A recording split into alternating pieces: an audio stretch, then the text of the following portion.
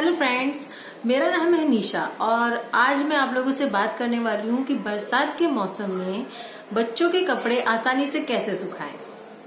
जैसा कि आप सब जानते हैं कि बारिश का मौसम स्टार्ट हो चुका है और इस टाइम पे हम लोगों के लिए जो सबसे बड़ी प्रॉब्लम होती है, वो होती है कपड़े सुखाने को रिलेटेड जिसमें हमें सबसे ज़्यादा टेंशन इस बात की होती है कि हमारे बच्चों के कपड़े अच्छे से और आसानी से सूख जाए। क्योंकि अगर वो जरा सा भी गीले रह जाते हैं तो उनमें मॉइस्चर अगर मॉइस्चर जरा सा भी रह जाता है तो हमें ये डर रहता है कि बच्चों को न्यूमोनिया ना हो जाए बच्चों को कोई इन्फेक्शन ना हो जाए क्योंकि कपड़े इधर अगर ज़्यादा देर तक कपड़े गीले रह जाते हैं तो उनमें फंगस इकट्ठी हो जाती है जिसकी वजह से बहुत ज़्यादा इन्फेक्शन फैल सकते हैं।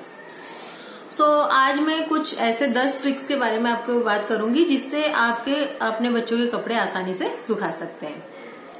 सो so, मेरा जो पहला ट्रिक है वो है हैंगर आप अपने बच्चों के कपड़े जब भी सुखाते हैं तो आप उन्हें हैंगर में सुखाइए। ऐसे बेड पे दीवार पे ऐसे मत सुखाइए या फिर अलमारी पे कुर्सी पे ऐसे मत सुखाइए। आप उन्हें परफेक्टली ऐसे हैंगर में सुखाइए। हैंगर में सुखाना एक तो देखने में भी ठीक लगता है। दूसरी चीज़ हैंगर में सुखाने से आ, कपड़ों में से हवा आर पार होती रहती है जिसकी वजह से कपड़े जल्दी सूखते हैं और उनमें मॉइस्चर नहीं रह जाता। दूसरी जो चीज़ है वो है, अगर आपके घर में वॉशिंग मशीन है तो आप वॉशिंग मशीन में कपड़े धोने के बाद कपड़े वो ड्रायर को दो बार चला दीजिए, जिससे कपड़े आसानी से और जल्दी सूख जाएँगे, इसका मॉइस्चर भी कम हो जाएगा। तीसरा चीज़ है कि आप अपने एक कमरे के कोने में धूप जला के रख सकते हैं, जिसकी वजह से आपके बच्चों के जो कपड़े हैं, उनमें स्मेल नहीं आती। क्योंकि बरसात के टाइम पे ज़्यादातर हम देखते हैं कि हमारे कपड़ों में स्मेल आने लग जाती है। और वो बच्चों के अगर कपड़े में आए तो उन्हें बहुत ज़्यादा इरिटेशन फील होती है। इसके लिए बेस्ट रहता है कि अगर हम धूप जला के कोने में रख दें। धूप जलाने से बच्चों के कपड़ों के पास ना जलाएँ, थोड़ा दूर पे जलाएँ, उससे ज़्यादा कोई कपड़ों पे इफ़ेक्ट नहीं आता, ना ही बच्चों को कोई उससे इन्फेक्शन हो सकता है। तीसरी चीज़ आप कर सकते हैं बच्चों के कपड़े में बदबू ना आए उसके लिए कि आप सिरका जो होता है ना, विनेगर, जब आप कपड़े धोते हैं। सॉरी वीडियो पॉज हो गया था। I am so sorry so अगर हाँ हम थे पॉइंट पे धूप जलाने के। बच्चों के कपड़ों से दूर आप धूप जला के कोने में रख सकते हैं। दूसरा ये रहता है कि आप बच्चों के कपड़े में जब धो रहे हैं, उस टाइम पे one two two tablespoon सिरका डाल दीजिए।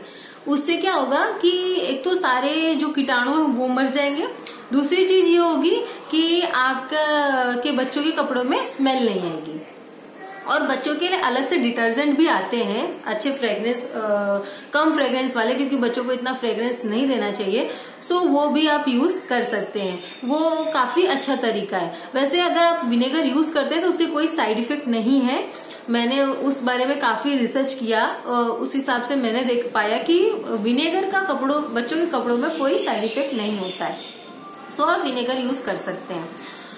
चौथी पांचवी चीज़ ये रहेगी कि ज, जैसे ही बरसात बंद हो जाती है उसके बाद आप क्या करें कि अपने घर के जितने भी खिड़की दरवाजे हैं सारे खोल दें ताकि बाहर की जो शुद्ध हवा है वो अंदर आ सके और उससे कमरे की नमी जो है वो कम हो जाए। छठी चीज़ आप एक और कर सकते हैं कि जब आप कपड़े सुखा रहे हैं उस और उस टाइम पे आपके रूम का जो मॉइस्चर है वो अगर ज़्यादा है तो आप एक चीज़ कर सकते हैं एक थैली लें उसमें थोड़ा सा नमक बाँध करके इसे पोटली बना करके कोने में रख दें। नमक से एक तो मॉइस्चर कम हो जाता है। दूसरी चीज़ जो हमको वायरल इन्फेक्शन या फंगस हो जाती है गीले कपड़ों की वजह से वो भी नहीं होती। सो so, एक वो बहुत अच्छा तरीका है। बच्चों को घमोरिया भी नहीं होंगी उस टाइम पे। दूसरा छठी सातवीं एक चीज़ है कि बच्चों के कपड़े जब आप धोते हैं उस टाइम पे आ, उसके बाद में कपड़ों को आयन कर दें। कपड़ों को आयन करना बहुत अच्छा और बहुत ही कह सकते हैं कि बहुत ही फ़ायदेमंद तरीका है। कपड़ों को आयन करने से ये काम आप विंटर में भी कर सकते हैं। आयन करने से एक तो क्या होता है कि बच्चे के ऐसे भी बारिश के टाइम पे थोड़ा ठंडा माहौल रहता है तो बच्चों को ठंडी लग रही होती है।